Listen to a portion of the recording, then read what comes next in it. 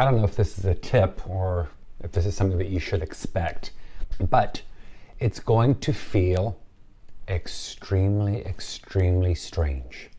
First of all, the sensation that you have normally to want to go to the bathroom is not going to be there because the catheter has taken over emptying your bladder. So that sensation that you had before, oh, I've got to go to the bathroom and you make your way to the bathroom, is no longer there. The only way that you're going to know that you went to the bathroom is because the bag will fill up and you will have a warmer sensation on your leg where the bag is attached. They never told me that uh, at the urologist office that I would not have the sensation of going. I would just go, which is actually kind of creepy and kind of weird, but it's part and parcel of wearing and having to wear a catheter.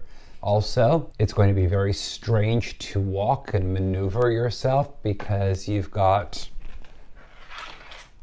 this entire thing moving in and out of your body.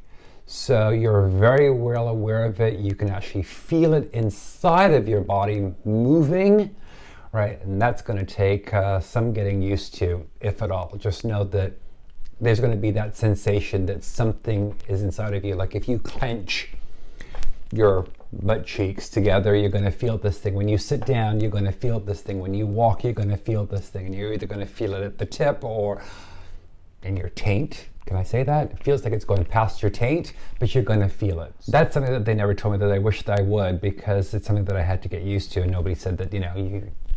Listen, what did I expect? You know, it's 14 inches inside of, you know, your body that shouldn't be there, but it's there. So it's going to feel strange.